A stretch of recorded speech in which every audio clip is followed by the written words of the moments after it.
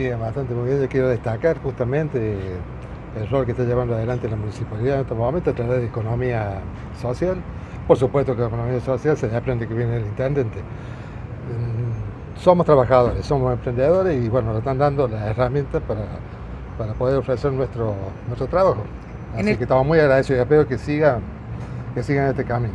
En el caso de usted, ¿cuál es el producto que realiza? Yo hago artesanías, artesanías, portasaume, recuerdo de Carlos Paz, esas cosas. En, mi caso.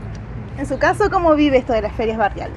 Bien, bien, con mucha esperanza, con muchas expectativas altamente positivas y bueno, ya que se ha generado una buena, una buena oportunidad para poder trabajar, que es lo más importante que nosotros necesitamos, porque somos trabajadores.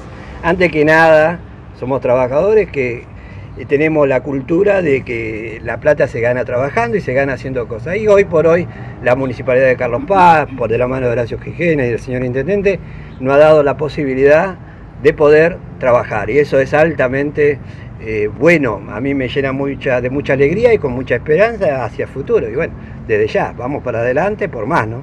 Es una alternativa, ¿no? A la que tenían ustedes. Sí, sí, altamente. Sí, ha cambiado todo muchísimo, ha cambiado muchísimo todo porque eh, anteriormente era muy difícil poder trabajar en Carlos Paya, que uno al, al pertenecer a una economía eh, medio que estaba media postergada porque no estaban creadas las condiciones, bueno, ha cambiado todo, ahora se, están creando las condiciones para que nosotros, los trabajadores del pueblo, las clases más postergadas que digamos podamos trabajar, ¿Qué es lo que queremos, ¿Qué otra cosa no queremos.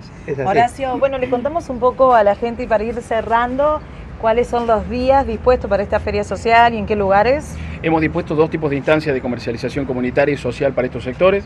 Los días sábados vamos a continuar con las ferias barriales de la economía social, específicamente con este contexto de itinerancia, visitando cada uno de los barrios de la ciudad, que tenemos dispuesto para el próximo sábado 14 en la zona de Altos de San Pedro, en la Plaza del Centenario, el próximo 21 también en la Plaza de Sol y Río y el 28 en la plaza, específicamente en el Parque Italia, en la zona de Barrio La Quinta.